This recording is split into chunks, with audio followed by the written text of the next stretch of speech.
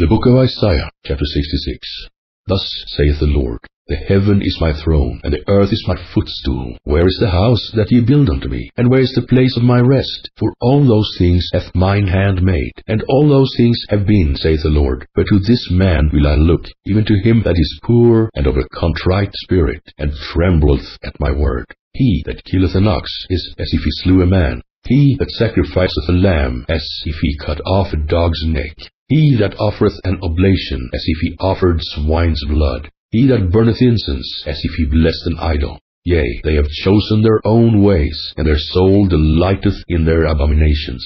I also will choose their delusions, and will bring their fears upon them. Because when I called, none did answer. When I spake, they did not hear. But they did evil before mine eyes, and chose that in which I delighted not. Hear the word of the Lord, ye that tremble at his word. Your brethren that hated you, that cast you out for my name's sake, said, Let the Lord be glorified. But he shall appear to your joy, and they shall be ashamed. A voice of noise from the city, a voice from the temple, a voice of the Lord that rendereth recompense to his enemies. Before she travailed, she brought forth. Before her pain came, she was delivered of a man-child.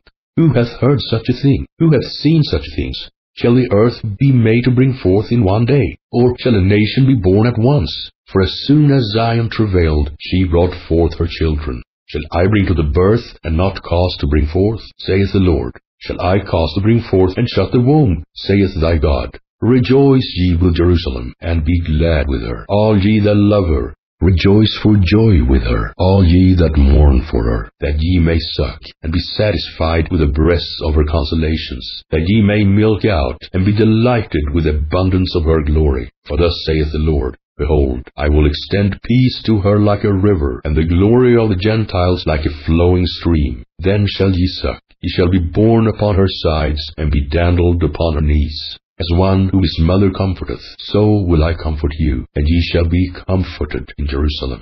And when ye see this, your heart shall rejoice, and your bones shall flourish like an herb, and the hand of the Lord shall be known toward his servants, and his indignation toward his enemies. For behold, the Lord will come with fire, and with his chariots like a whirlwind, to render his anger with fury, and his rebuke with flames of fire.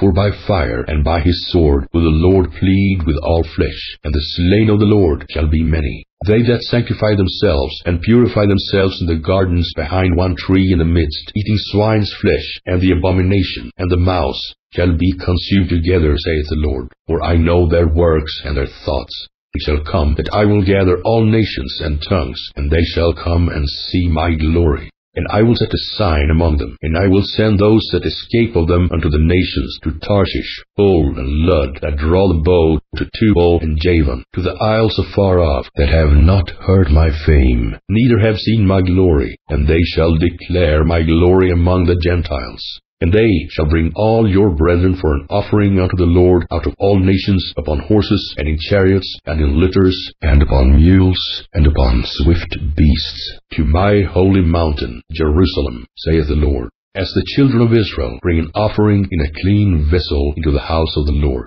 And I will also take of them for priests and for Levites, saith the Lord.